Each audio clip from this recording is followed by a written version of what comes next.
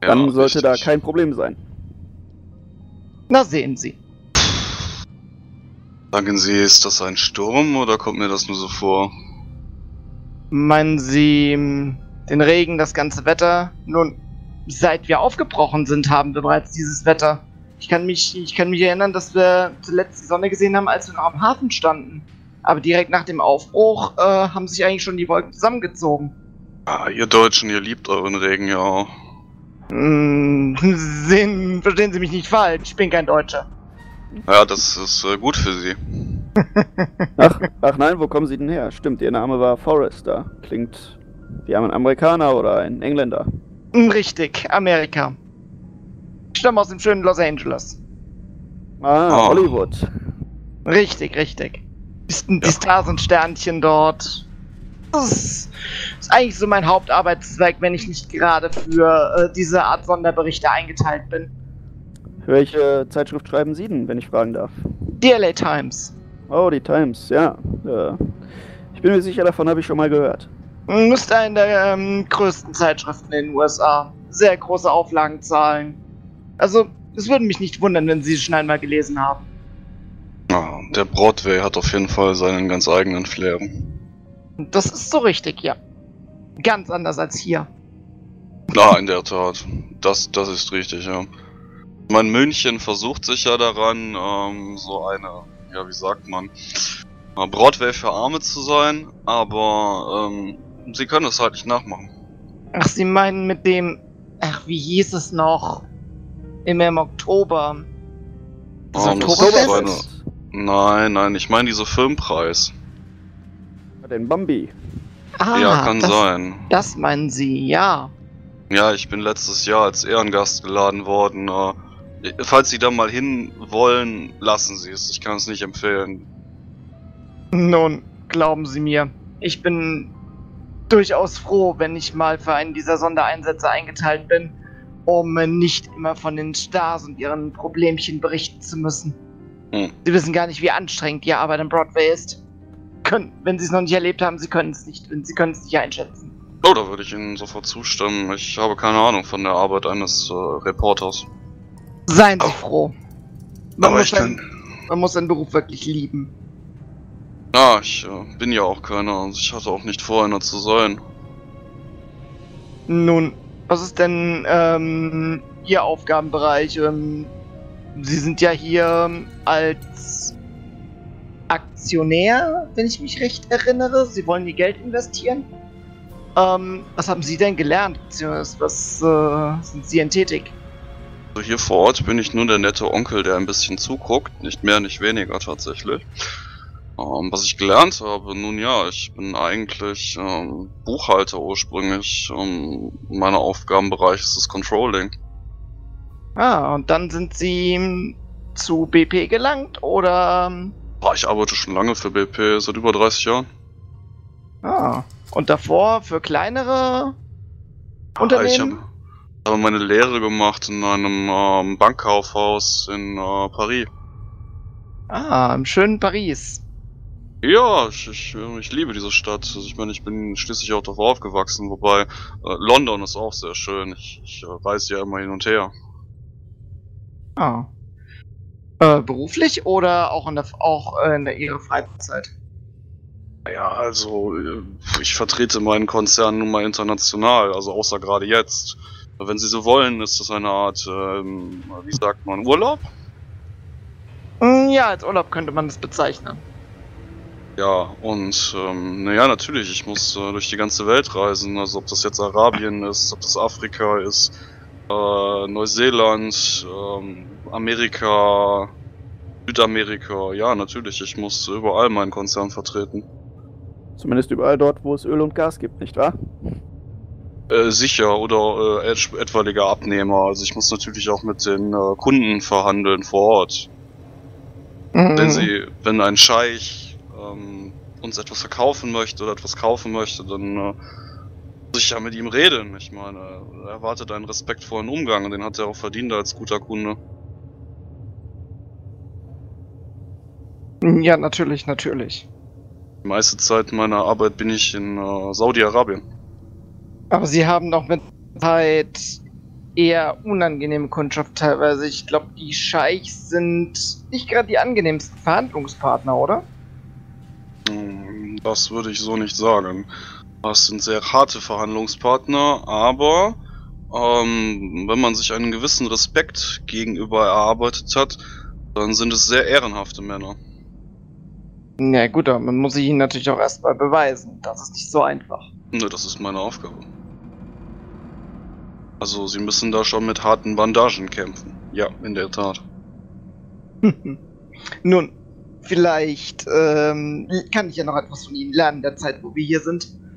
Ah, ich denke nicht. Ähm, ich habe von Ihrem Beruf keine Ahnung und ähm, auch nicht, was ich Ihnen sagen sollte.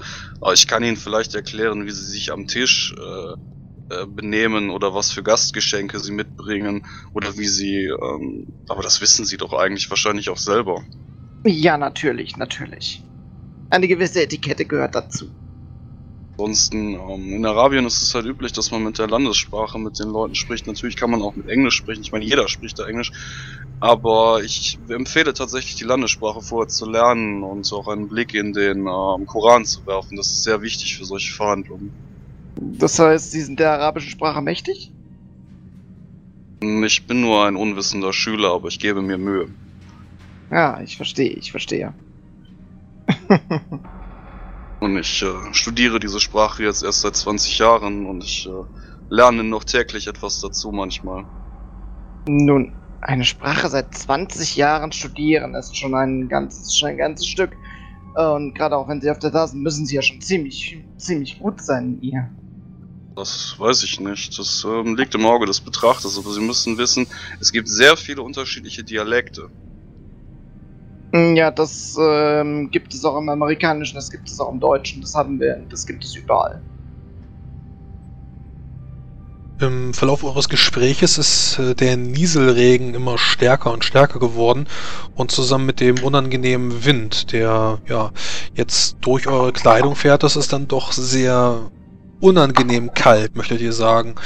Äh, Gerade wenn es jetzt eben mehr und mehr regnet und der Nieselregen verstärkt ist, habt so ein bisschen das Gefühl, dass ihr euch demnächst von dieser Plattform draußen entfernen müsst und auch eure Kopfschmerzen sind ein bisschen besser geworden. Das kann aber auch an der Tablette gelegen haben ähm, oder an der frischen Luft, aber beides zusammen hat zumindest geholfen. Aber äh, wenn ihr jetzt länger hier draußen rumsteht und wartet, dann wird euch sicherlich äh, eine Krankheit holen. Da seid ihr euch äh, recht sicher. Mm, Ja, ich halte mir noch so langsam schon mal die, ähm, die Hand so vor die Brust. Fange auch schon äh, leicht an zu zittern. Also, meine Herren, ähm, so wie ich das sehe, wird das Wetter hier immer schlimmer. Und Mr. Hässlich, ich weiß nicht, wie es mit den Sicherheitsbestimmungen hier ist, aber ich denke, ab einer gewissen Windstärke darf sich keiner mehr an Deck aufhalten. Zumindest Ähm, nicht nah an den Zäunen, das ist korrekt. Und würde daher generell vorschlagen, dass wir uns vielleicht wieder im Inneren der Plattform etwas umsehen. Tatsächlich, äh, selbiges wollte ich auch gerade sagen. Dann sind wir uns ja einig. Monsieur Rondeau, Ja, ja, ja, natürlich. Herr- Kettler, Sie haben sich jetzt lang genug das Wasser angeguckt. Kommen Sie. folgen Sie sich nicht so weit rüber, sonst fallen Sie noch runter. keine Sorge, ich werde mich um meinen, ich werde mich um meinen Journalistenkollegen kümmern, ihn etwas unter den Armen nehmen, denn er wirkt mir etwas geistesabwesend. Ja, das Und ist äh, die Faszination des Meeres. Und schließlich soll er nicht ins Wasser fallen. Wie? Was sagen Sie, wie viel Uhr haben wir gerade? Hat jemand eine Uhr dabei? Mm. Mm, Nicht unbedingt eine Uhr, aber mein Smartphone mit Sicherheit und warten Sie kurz. Ihr seht, wie er es aus der Hose holt. Und ähm, seht, wie er drauf guckt. Flo, ist es denn gerade? 13 Uhr. Na, es ist gerade 13 Uhr. Und äh, ihr seht aber auch, wie er es dann direkt wieder zumacht und wieder in der Hose verstaut. Er scheint es nicht gerne zu benutzen. Ja, meine Herren, ähm, 13 Uhr, das ist doch Zeit für äh, Mittagessen. Ja, Ja? ein kleiner Lunch äh, sollte nicht schaden. Ja, dann lassen Sie uns was essen. Ähm, ich äh, muss auch meine Tabletten so, so langsam nehmen. Oh, was brauchen Sie denn für Tabletten? Ach, nichts Wildes, wissen Sie. Ich habe ein bisschen Probleme mit dem Blutdruck, aber das äh, soll Sie nicht belasten. Ich habe das völlig im Griff. Ah, es ist nur gut, so etwas zu wissen. Nicht, dass Sie vielleicht irgendwann Probleme an den Tag legen und wir nicht wissen, was wir tun sollen. Ja, das ist äh, ganz einfach. Wenn ich irgendwann umkippe und fiepe, dann nehmen Sie diese Tabletten hier aus der Dose und schmeißen sie in mich rein und dann sollte wieder gehen. Ich werde dran denken. Hoffen wir mal, dass, äh, dass es solche Anfälle, dass sie, dass sie nicht zum Opfer solcher Anfälle werden während unserer, während unseres Aufenthalts hier. Ja, also Aber- wenn Sie ein gewisses Alter überschreiten, dann äh, ist Blutdruck und Herz und sowas immer ein Problem. Ach, Das glaube ich Ihnen gerne, aber ähm, nee. Es gibt ja auch die recht gut ausgestattete Ambulanz hier vor Ort und ich denke, dass die meisten Problemchen hier zumindest für einige Zeit behandelbar sind. Und für alles andere gibt es mit Sicherheit die Möglichkeit, mittels Helikopter äh, in ein Krankenhaus zu fliegen. Ja, gehen Sie mir weg mit den Ärzten. Die machen einen krank, das sage ich Ihnen. Es gibt da einen Trick, jeden Tag einen Apfel essen. Also wenn ich einen Arzt sehe, bin ich sofort krank. Wie sagt man doch so schön, an apple a day keeps the doctor away. Also jeden Tag einen Apfel essen sollte da schon reichen. Also ich habe schon diverse Ärzte mit Äpfeln beworfen und es hat gar nichts gebracht. sie sollen die Äpfel auch nicht nehmen, um die Äpfel zu bewerfen, sondern sie essen. Ah, so ist das gemeint. Ja gut, ich verstehe. Und mit wieder guter Laune könnt ihr so in ja, die Cafeteria gehen, wo auch die ersten paar Leute schon sitzen, äh, auch die Arbeiter Schlamm verschmiert, ähm, haben hier äh, sich schon ein bisschen abseits hingesetzt. Ähm, und ja, damit gehen wir in eine kleine Pause. Dann seid ihr gerade im Erholungsraum in der Cafeteria und äh, vor euch ähm, gibt es dann ja ein großes Tablett, was ihr euch gerade geholt habt. Äh, je nachdem, äh, was euch da dann äh, angesprochen habt, hätte es geben können Spargel mit Pinienkern ähm, oder eine Avocado-Soße mit ähm, ja, Risotto. Äh, verschiedene wirklich sehr gut schmeckende Sachen, die euch da dann äh, präsentiert werden, wo ihr dann zugegriffen habt. Ähm, natürlich auch Weine, wenn ihr haben wollt, wobei die Arbeiter gerade eben auch darauf verzichten, ähm, wobei die dann eben zu einem Bier gegriffen haben, so ein Bier bei der Arbeit äh, während der Pause, das äh, wird wohl nicht schaden. Ähm, ja, und so sitzt ihr jetzt gemeinsam gerade ähm, bei gutem Essen im Speisesaal, während nach und nach andere Arbeiter dann sich gerade dazugesellen. Ähm, diejenigen, die schon sputzig sind und da gerade den Klärschlamm vom, vom Ölkern äh, noch irgendwie dran sich haben, die haben dann ein eigenes äh, abgestecktes Gebiet, ähm, in dem sie dann eher bleiben und äh, ihr als äh, ja, nicht arbeitende Persönlichkeiten oder auch gerade dann Jim Walt oder ähm, die, die Geologen, die sich dann da nicht dreckig machen, die können sich dann ohne, ohne irgendwelche Probleme zu euch setzen, hm, so dass ihr da jetzt in guter ähm, Manier bei den anderen sitzt. Ja, ich werde mich mal durch die Weinauswahl schauen und gucken, was es so gibt. Ja, äh, von bis, also äh, du kannst da rote, weiße oder auch Eisweine kriegen. Ähm, ist natürlich für den, für den ganz edlen Geschmack, wer auch immer das dann trinkt. Mm, kannst trockene, fruchtige Sachen bekommen. Ähm, ja, also ein bisschen Auswahl ist da, so 10, 12 Flaschen, die du da findest. Und wenn du dann nachfragst, kann dir dann auch der, der Koch eben da eine Empfehlung aussprechen, je nachdem, was du dann eben hast. Und nimmt sich dann auch ein bisschen Zeit, gerade für dich. Ja, wenn ich merke, dass ich es da mit einem Fachmann zu tun habe, dann werde ich natürlich sofort ein Gespräch darüber beginnen und äh, mich natürlich dann auch entsprechend beraten lassen von dem Koch.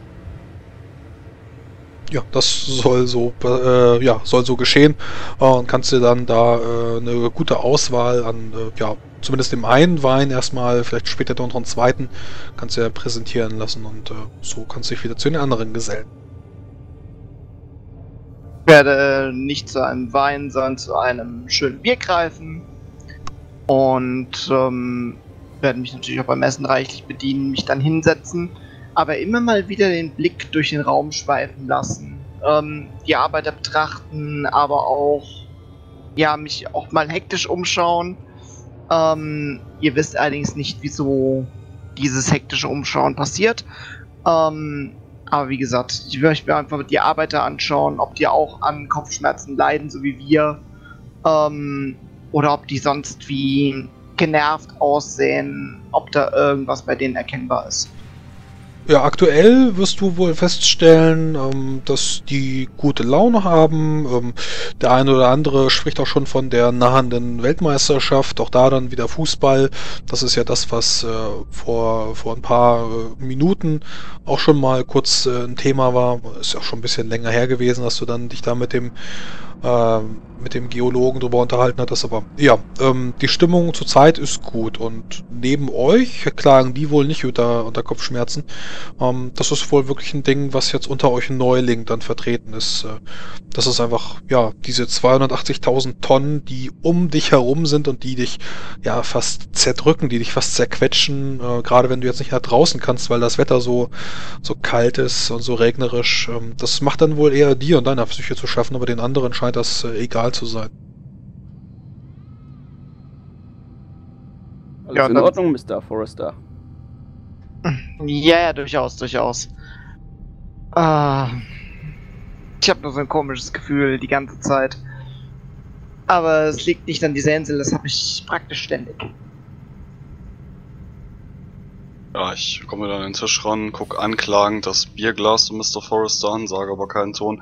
Herr, Herr Hessel, kann ich Sie vielleicht für ein Gläschen äh, zum Mittagessen begeistern? Äh, nicht solange ich im Dienst bin. Aber vielen Dank. Nun, Mr. Rondo, verstehen Sie mich nicht falsch, auch ich trinke gerne mal ein Gläschen Wein, doch ähm, aktuell ziehe ich ein Bier vor. Ja, ähm, ich konstatiere das, äh, indem ich einfach gar nichts dazu sage und setze mich dann betrübt mit meinem Weinglas dahin und äh, esse mein Essen, schweigend.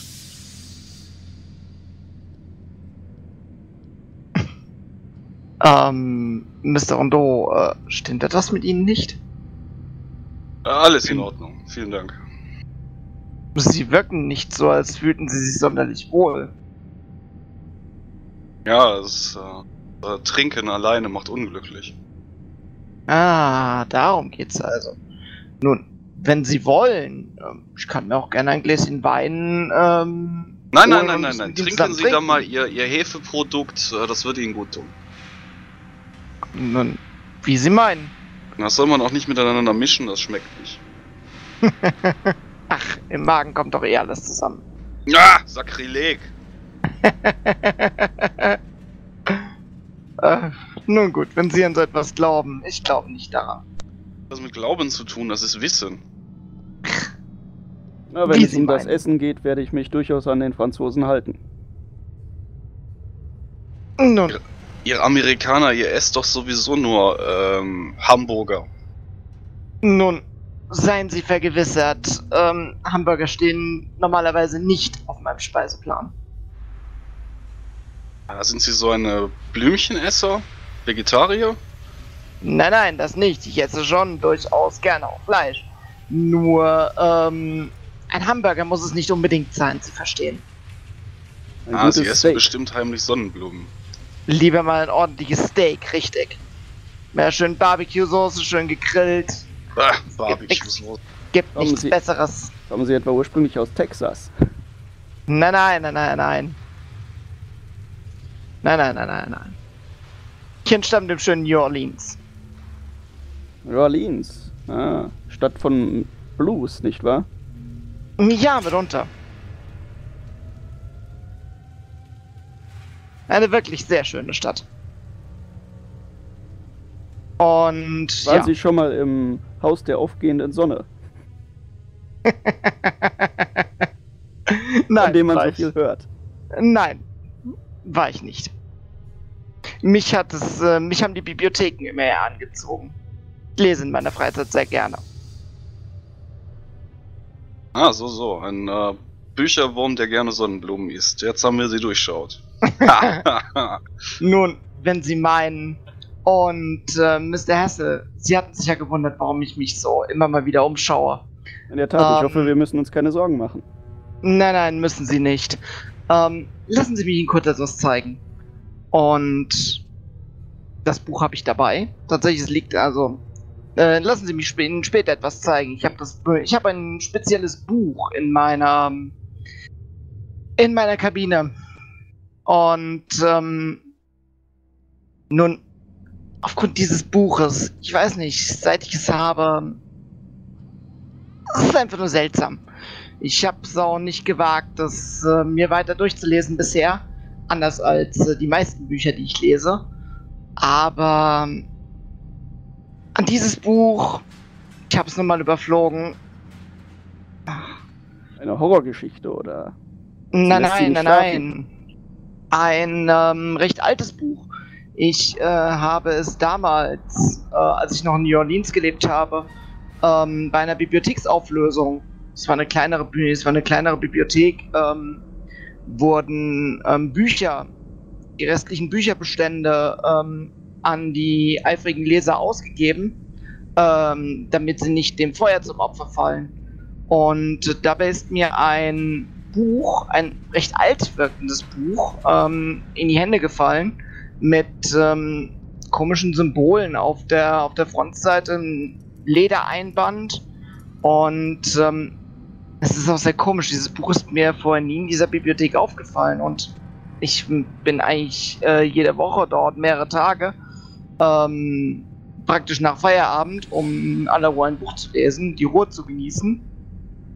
Aber dieses Buch es stach mir sofort ins Auge, als ich es dort gesehen habe, aber mir ist es vorher nie aufgefallen.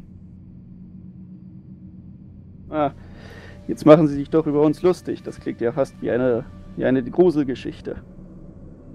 Äh, glauben Sie mir, es liegt nicht in meiner Absicht, mich über Sie lustig zu machen. Und äh, ich kann Ihnen das Buch, wie gesagt, zeigen. Ich habe es in meiner... Ja, ich habe es in meinem Zimmer.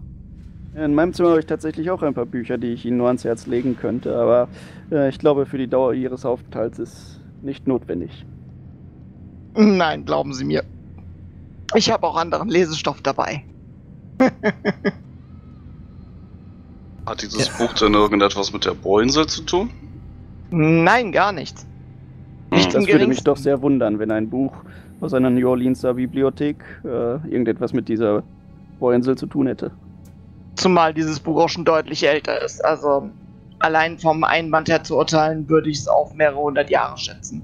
Na, verzeihen Sie, ich bin bei dem, bei dem Zusammenhang irgendwie auf der Strecke geblieben. Hm, kein Problem, kein Problem. Na, Herr Kettler, kann ich Sie vielleicht für ein Gläschen äh, Wein begeistern? Ja, der Björn Kettler kommt dann auch äh, in die Kantine rein.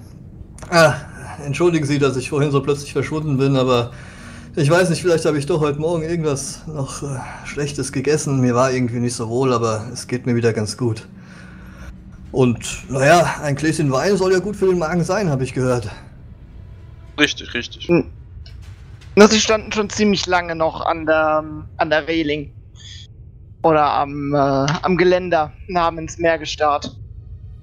Äh, ich habe gehofft, dass mir die Luft etwas, äh, etwas Verbesser Verbesserung verschafft. Vielleicht hat's gewirkt. Na, sie haben zumindest wieder etwas Farbe im Gesicht. Ja, ich weiß auch nicht. Äh, jetzt geht's mir wieder ganz gut, äh, was das war. Manchmal kommt sowas. Man ist ja auch nicht mehr der Jüngste, nicht wahr? Ach, so ein blaues Gefühl kann immer mal wieder aufkommen. Muss ja nichts heißen. Ja, ich dachte erst, äh, vielleicht irgendeine Art von Seekrankheit, aber eigentlich steht die Insel ja doch schon fest. Also ja, dieser Anblick ist ja schon etwas einschüchternd, wenn man rundherum nur das Meer sieht. Aber setzen ja, Sie sich und genießen Sie den Spargel. Ja, danke. Ja, Kettler setzt sich und nimmt sich dann auch etwas zu essen. Und haben Sie wenigstens Ihren Rundgang etwas genossen, irgendwas Interessantes entdeckt? Nein, tatsächlich nicht. Bis auf hier und da mal äh, aufblinkenden Rost. Sie wissen es ja, Sie haben es ja selbst gesehen. Äh, nichts weiter. Wir sind auch nur wieder hier runtergegangen, weil das Wetter etwas, naja, unerträglicher wurde, sagen wir es mal so. Ähm, der Regen wurde stärker, der Wind, ähm, der Wind wurde stärker, also man konnte sich an Deck nicht mehr aufhalten, ohne seine Gesundheit zu riskieren. Und äh, deswegen sind wir schließlich dann hier in die Kantine gegangen, um etwas zu uns zu nehmen. Ja, ist ganz interessant. Ich meine, so mitten auf dem Meer ist man ja den Gewalten quasi schutzlos ausgeliefert, nicht wahr? Ich meine, auf dem Land äh, stehen überall Häuser, Hügel, da wird das alles noch abgeschwächt und hier merkt man erst richtig, äh, welche Kraft und Stärke so ein Wind überhaupt haben kann. Ja, in der Tat. Aber eine positive Sache hat es. Die Kopfschmerzen sind was zurückgegangen. Na, das freut mich zu hören. Ah, meine Herren, da dürfen wir uns dazusetzen. Vor euch, äh, oder vor euch stehen Dave Austin, der Geologe, und Evan Stahlberg, der Sicherheitsmann. Allerdings nehmt ohne Hund. Natürlich, natürlich, setzen Sie sich. Danke, danke. Ähm, wie ich sehe, haben Sie Ihren Hund gar nicht dabei. Äh, ja, Franz sitzt in der Ecke, keine Ahnung, was mit dem los ist. Äh, ich äh, wollte ihn noch irgendwie dazu holen, das ist meistens an meiner Seite, aber jetzt sitzt er da bei, den, bei der Couch und äh, knurrt vor sich hin, soll er machen. Na, Ja. vielleicht, äh, Hm, Verzeiht, bitte. ach nichts, ich meinte nur, vielleicht äh, ist er auch mit dem Wetter gerade nicht so ganz einverstanden. Oder er spürt etwas anderes. Man sagt ja immer, Tiere haben ein sehr feines Gespür, was solche Sachen angeht. Die reagieren schon auf kleinste Veränderungen. Ist er ein ausgebildeter Wach- oder Spürhund? Ähm, ja, schon. Ähm, allerdings privat ausgebildet und nicht ähm, irgendwie, äh, naja, bezahlt. Das war ich selber. Ah, und verstehe. mit dem, mit dem Wetter sollte er eigentlich keine Probleme haben. Ist alle 14 Tage immerhin hier und äh, kennt sich hier aus. Keine Ahnung, was er hat. Ich habe ihm ein bisschen Wasser hingestellt, soll er trinken. Dem wird schon wieder gut Ja, gehen. aber wenn er alle 14 Tage hier ist, dann, kennt, dann sollte er sich hier eigentlich doch gut auskennen. Ja, und er normalerweise mit den Gegebenheiten hier keine Probleme haben. Ja, äh, lass ihn halt knurren. Ist auch wie ein Tier, wie alle anderen auch. Ich meine, wir haben ja auch mal schlechte Laune, oder? Hm, natürlich, natürlich. Ich würde das jetzt nicht überinterpretieren. Nun. Schauen wir mal, wenn- was der Tag noch so bringt.